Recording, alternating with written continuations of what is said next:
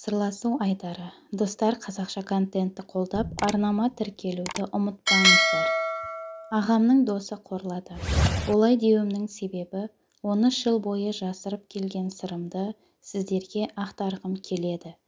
Қазір жасым 28-де 15 жасымда өмірімде өшпестей із қалдырған қайғылы оқиға орын алды. Алданып қалдым. Болып қойдым білмей қалдым деп жазатын қыздарға айтқым келетіні нәпсінің жетегіне еріп өмір бойлық арларыңызға таңба салмаңыздар. Әкем мен анам бір күні көрші ауылдағы ағамыздың тойына бірнеше күнге қонаққа кетіп үйде ағам екеуміз қалатын болдық. Сол күні ата-анамыздың жоқтығын пайдаланған ағам үйге дос балаларын әкеліп кішігірім отырыс жасай бастады. Әрі-бері ащы судан масайған ағам төсекке жатқан күйі ұйқыға кетті. Ал мен болсам көрші бөлмеде сабақ орындап жатқан болатынмын. Араққа сылқия тойған екі досы көрші бөлмедегі маған келіп сөзге тарта бастады. Жасымның нешеде екенін қай сыныпта оқитынымды сұрай бастаған олар сенің көкірегің бар екен ғой деп төтесінен қойып қалғандары төбемнен жай түсірді.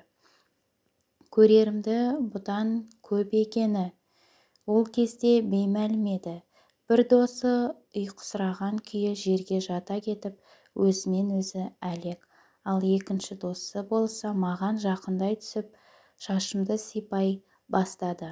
Қорықсам да сабақ орындап отыра бердім. Жаймен маған шап беріп ол мені қатты ұстап алды. Аға жіберіңізші дегенімде мән берместен не деген тәп-тәтті қыз едің деп өзінің құшағына қатты қысып алды. Жіберуін сұрасам да тыңдай қоймады. Еңгезердей жуан қолдарымен қапсыра құшақтап көтерген күйі түпкі бөлмедегі диванға лақтырды да есікті тарс жапты.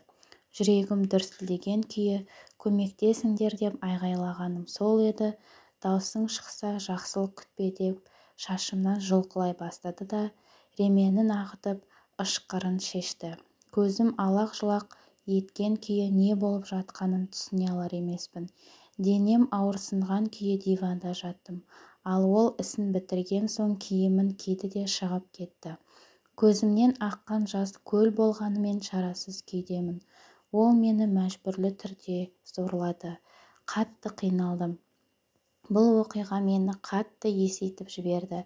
Біраз уақыт өз-өзіме келе алмай жүрдім. Бұл болған жайтты ешкімге тіс жарып айтқан емеспін. Қорықтым. Небәрі 15 жасымда мені зорлап кетті. Ағамның досы. Енді мен кімге керекпін?